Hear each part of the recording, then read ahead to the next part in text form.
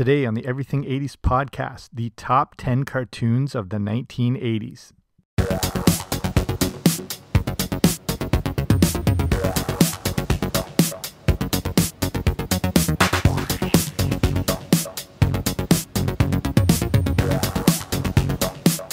Hey there, what's happening? Welcome back to the Everything 80s podcast. I'm Jamie. Thanks for coming on out today. They shaped our lives and became the definition of must see TV before that was even a thing. With very little other forms of entertainment, cartoon shows provided the ultimate in amusement for kids growing up in the 80s. And that's why today I want to look at the top 10 80s cartoons. So before we start all that, if you haven't already, make sure you subscribe wherever you find your podcast. I should be there. So the 80s is a golden age of a lot of things music, movies, technology, all that sort of thing, but also a golden age of cartoons. And a lot of this is thanks to what I've covered a lot on the show the deregulation that happened in children's programming by Ronald Reagan when he first became president. Companies now had free reign to push anything they wanted at kids. Before that, there were restrictions on what could be directly targeted and marketed towards children. But with these restrictions lifted, there came a tidal wave of cartoons and toys associated with it. We weren't complaining though, and we were the ones reaping all the benefits. In a lot of cases, we were unaware that we were basically just watching a 22 minute commercial when we watched a cartoon, but we loved what we saw. There was a 300% increase in um, licensed characters going into the 80s. That's how much this deregulation just launched this era of cartoons and toys. Okay, so we're going to go in the top 10 order and look at each cartoon and a few little fun facts about it and why I think it uh, ranks in as some of the best cartoons of the 80s. Okay, number 10, She-Ra Princess of Power. So, how do you capitalize on the success of a massive, massively um, iconic franchise. You spin it off, of course. She-Ra Princess of Power came out in 1985 and was done to push the massively popular He Man cartoon and toy line, but directed more at young girls. Regardless of whether you were a boy or a girl, She-Ra was a great cartoon and embraced all the elements that made He-Man and the Masters of the Universe so successful. You you know, there growing up in the 80s there was obviously a lot of specific gender differences that were really pushed by manufacturers and toy companies. And there was that very clear divide between a boy's toy and a girl's toy and whatever. And, you know, She-Ra as a cartoon was so good, it appealed to everybody.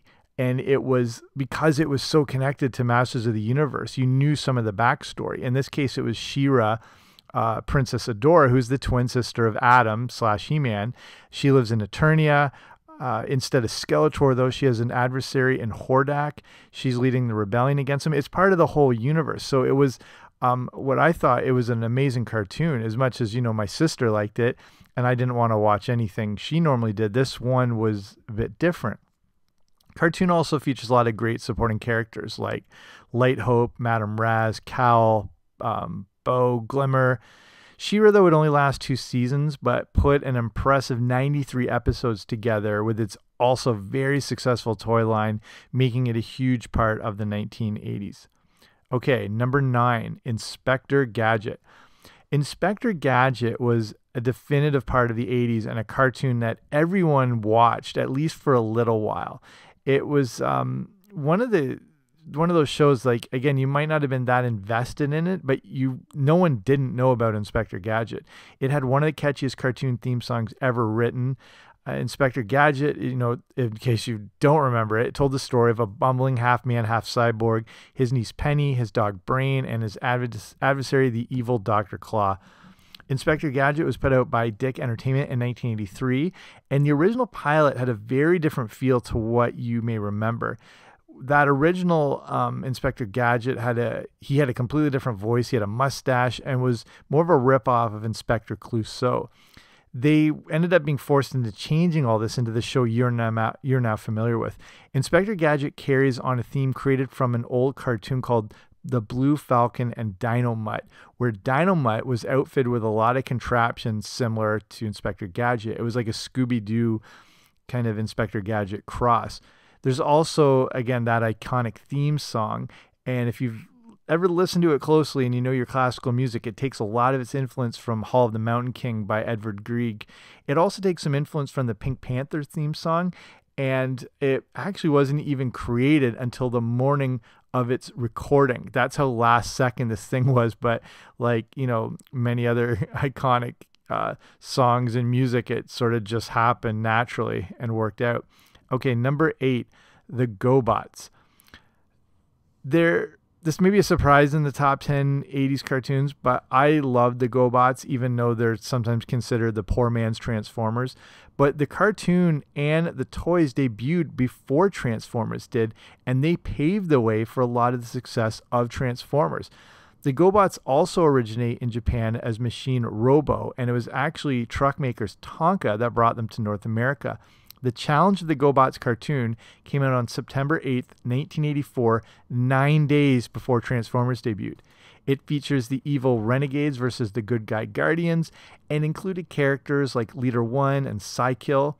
The cartoon was put together by Hanna-Barbera and they put out a massive 65 episodes over just one season everything you see in Transformers as far as backstory, mythology, character development, and themes were all originated by the GoBots. The cartoon even featured the voices of Frank Welker and Peter Cullen, who voiced Megatron and Optimus Prime.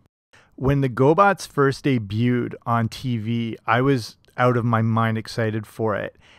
The problem was it came on before I got home from school, and this is like pre VCR days, or I mean, VCRs were around, but like very few people had them. They were so expensive. So I knew it was debuting and there was no way I'd be able to get to see it. So I faked being sick for four straight days to be able to watch this show. So I don't know how I pulled this off as a kid, but this is how important this was to me.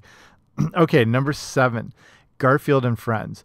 Garfield and Friends was a cartoon that was embraced by all ages and featured one of the most fa- famous comic strip characters ever.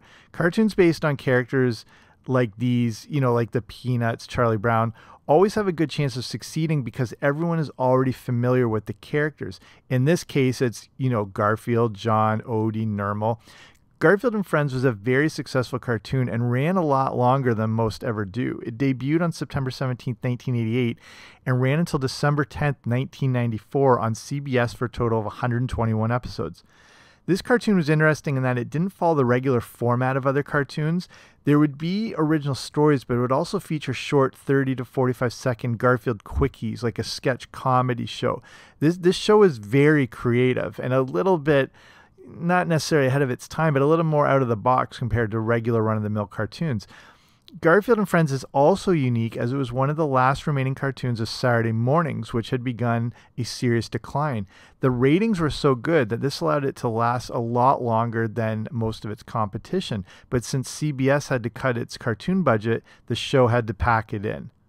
Okay, number six Thundercats one of the coolest cartoons ever with one of the greatest theme songs to go with it. The Thundercats were a group of feeling like humanoids and basically like the Broadway show of cats, but on steroids.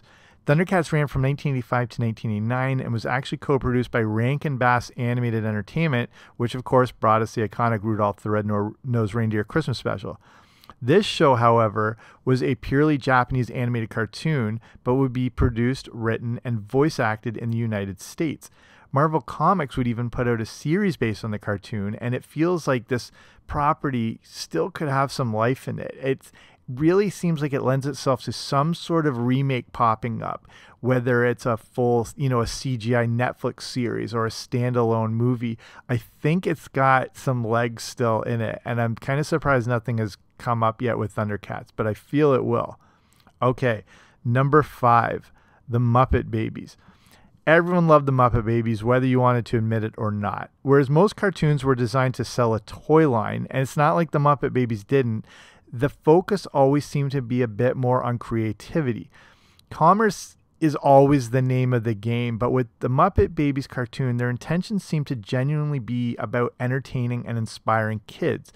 This is the takeaway that I got from it, and at the core of the show was the idea of using your imagination. This was another cartoon that had a low barrier of entry because everyone in the world is familiar with the Muppet characters. So putting out cute baby versions in cartoon form couldn't miss. The series came out in 1984 and ran impressively until November 2nd, 1991 on CBS. The idea of putting forth a cartoon show based on the Muppets as babies was introduced in the movie The Muppets Take Manhattan in the dream sequence by Miss Piggy. The sequence was so popular, it's what inspired Henson to create the cartoon. The Muppet Babies would focus on adventure and include popular movies interconnected with real life clips.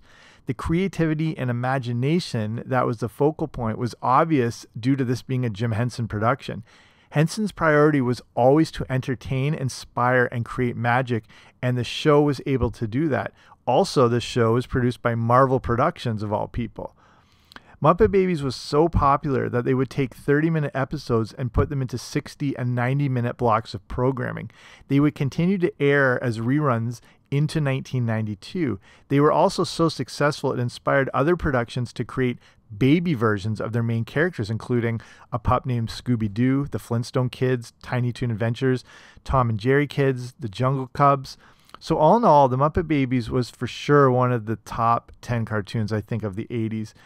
It also includes the amazing fact that Frank Welker, aka Megatron, did the voice of Baby Kermit. That's I, that's the fact of the podcast right there. If you're taking away anything, okay. Number four, Voltron Defender of the Universe. Voltron was awesome and definitely belonging in the top 10 cartoons here. It could have been a bit higher on the list, but it just can't can't compare to the mythology that you'll see from the top 3. Voltron's based on the story of a team of space explorers who pilot a giant super rob- robot, Voltron, defender of the universe. This show came out on September 10th, 1984. And to me, this was one of the coolest toys of all time but it didn't lend itself to much more than just the five main toys. There weren't a ton of vehicles, play sets, and other characters that you would find compared to things like G.I. Joe or Transformers. Voltron was a little different than other cartoons in that it was a fully syndicated show. This allowed for cheaper production as you didn't have to have an original air date slot on TV and it can be aired at various times. Voltron ran from 1984 to November 18th, 1985, and was actually the highest rated syndicated children's show for two years during the original run. When a show is made to be syndicated like this, uh, Small Wonder is another example that did this. It, there's no way for a show like this to not make money because the the air rights are, are just drop through the floor. There's they don't have to spend the majority of their budget um, on original air date slots but it's Voltron was up against a lot of competition. The one thing that also came with it was the huge amount of spin-offs over the years, which ultimately made it su successful, even though it only ran from 84 till 85. But those spin-offs include Gladiator Voltron, Voltron Fleet of Doom, Voltron the Third Dimension, Voltron Force, Voltron Legendary Defender, Voltron's still been going strong some 34 years after it debuted, showing what an original and impactful cartoon show it really was. Okay, we're into the top three. And depending on your viewpoint, this top three could be very interchangeable, but this, I think, the, my perspective on why I slot them in as I do. Okay, number three, G.I. Joe. And if, this could, of course, be first on the list.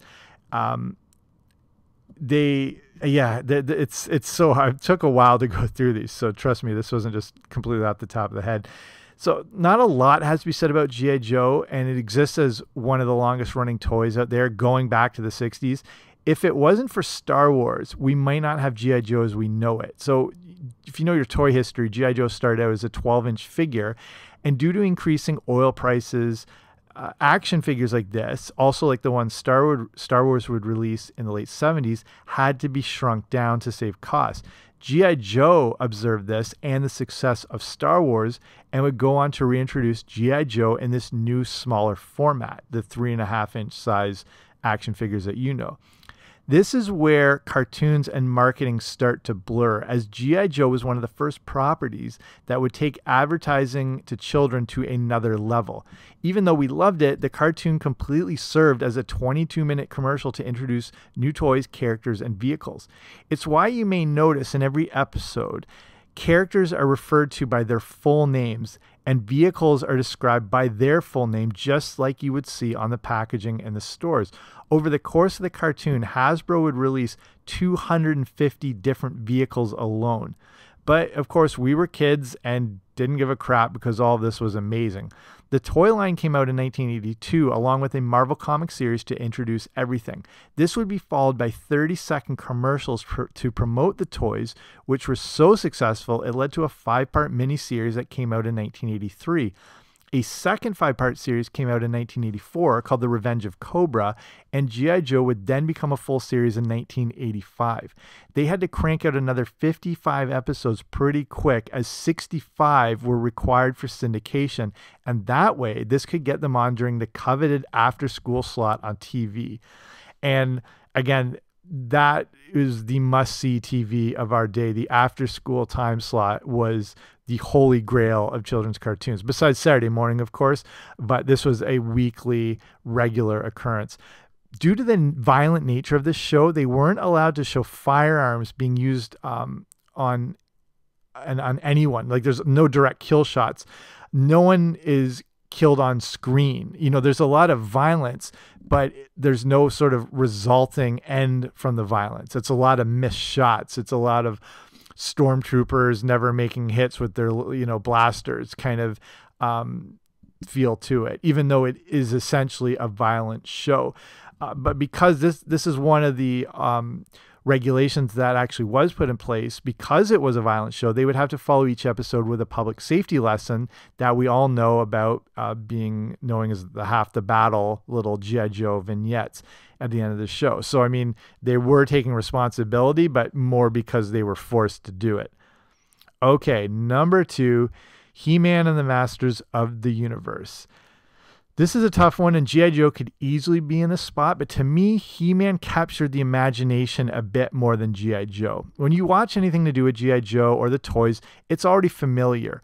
Army based toys and entertainment have been around since the advent of TV and movies. With He Man, you were getting something more mythical and engaging.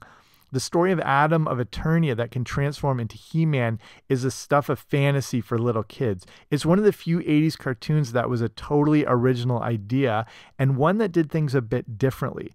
Whereas the other cartoons were made primarily to launch a toy line, He Man started with the toy line and then evolved into the cartoon show you might forget how far back He Man goes. And I always think of it as a mid 80s franchise, but the toy goes all the way back to 1982, with the cartoon going back to 1983.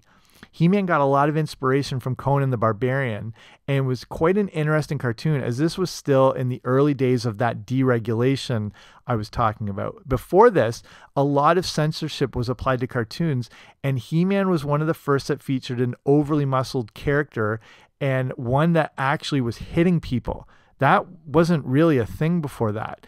He Man was still controversial because as the toys came out, people realized all this was a combination of advertising and promotion.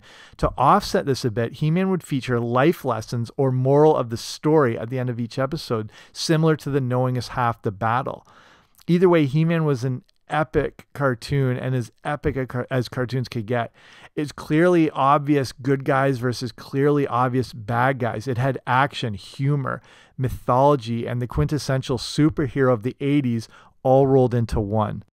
Okay, the number one cartoon of the 80s, and no surprise here, you probably saw where this was going anyway Transformers. It has to be number one the perfect combination of action, adventure, transforming robots, and toys you wanted more than life itself. It is also the ultimate in a cartoon series used to launch a toy lineup.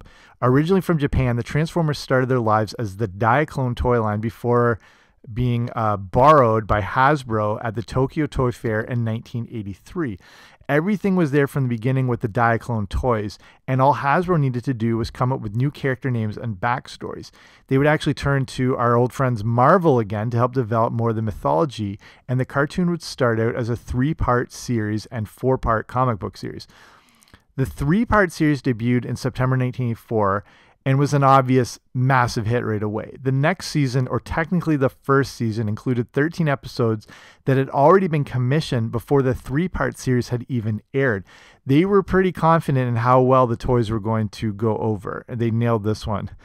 Even though commerce is at the heart of the Transformers, but it's isn't it for all cartoons and toy shows really? There still was a lot of creativity. There was a lot of character development. There was a lot of story arcs that took place over the coming seasons. The story of the battle between the Autobots and Decepticons is a pivotal part of the childhood of many kids in the 80s, mine included. So when I think of the 80s and I think of cartoons, it's Transformers that is always the first that comes to mind. And that's why it's number one on my list of the top 10 80s cartoons. So I'll start wrapping it up here hopefully I've covered my bases pretty well. You might have a few favorites that didn't make the cut, like Rubik the Amazing Cube, which I just did a whole show about. Uh, but I think I covered the universal choices, and then it's just a few of the slotting positions you might disagree with. But some of these cartoons looking back don't hold up as we remember, but it's really the memory of the time that stays with us. Saturday mornings and after school were a sacred time and a cartoon utopia that just does not exist today.